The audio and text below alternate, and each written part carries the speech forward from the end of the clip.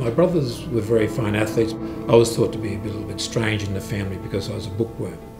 And uh, they always knew what my elder brothers did, but they would say, what, what, what's he do? And Dad said, look, he's a bookworm, but he'll come good. it's like some big impediment that I, had. not really, I mean, he encourages by buying me encyclopedias and all sorts of things.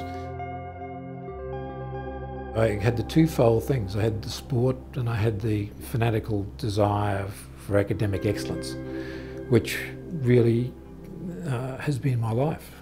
It's been a great journey, the rugby journey, but it, it always was feeding into something else. It wasn't just it. You know, it actually taught you how to discipline yourself and how to concentrate. And I think that stands you in good stead in life if you use it well. A lot of people said I should give up the game, but I couldn't do both. And I was lucky enough to have a dean, Eric Saint, who took me aside and said, look, I think you can do both. He said, I'll back you, but if you fail an exam, I can't back you. So he allowed me to play, and that was the deal, that I had to keep passing exams and pass them well, and he'd keep making arrangements for me to continue to play my game. That was a turning point in my life, which was good.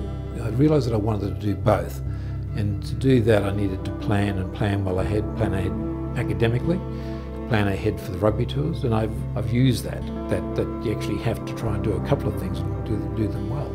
In life, you have, you have opportunities, and you have to risk things. Even if you're going to lose, it's better to actually give it a go and fail than not to have explored that opportunity at all. Ophthalmology had started to appeal to me because I had an interest in visual arts, I had an interest in vision. I always had to drive to do some remote work or third world work. And I could see immediately that ophthalmology would allow me to do that. And I thought it's a nice thing to make it to your own state, and particularly in an area where you were as a child. Know, looking after my teacher like Mrs. Keeble from Cooktown, uh, one of the best teachers I've ever had. So that's, it's, a, it's a lovely thing to actually belong to something, to belong to, to a part of your country and uh, uh, to make a contribution somewhere along the line. I just think it's just such an extraordinary gift to be born into this area of the world.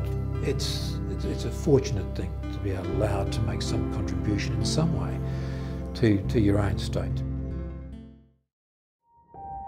Wagner and myself have talked about this. Uh, he was surprised that I knew a bit of art history and we started talking about all these things. So we went to and fro and we tried one photograph and I thought, we need to go back and do some more Wagner because when I think of it, my life has been more ophthalmology, it's been more eye surgery. We came in here to, to the operating theatre downstairs on a Saturday and we set up a whole theatre structure. And then it was his idea to go into this change room, and that's what eventually has come out to be. I hadn't realised the connection really, that, that when you go to theatre, you're going into a change room and you go in and change your uniform and you become something different to what you were.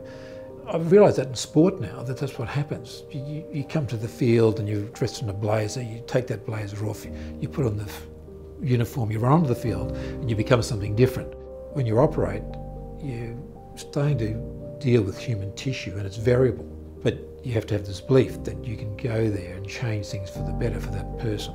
It's an interesting thing. It's no wonder that you probably get dressed up into some different type of gear and become something different into the in the operating theatre, something better, I hope. And you need to go into some type of Zen performance where everything's excluded from your thought and you're looking at this moment in this time. You know, there's a very small space that you're given. And if you're in that space, you want to change it for the better. You, it's a concentration into small space and to try and do that small space well without getting worried about the enormity of how big life is and how ramifications will be. That it's there and it's now.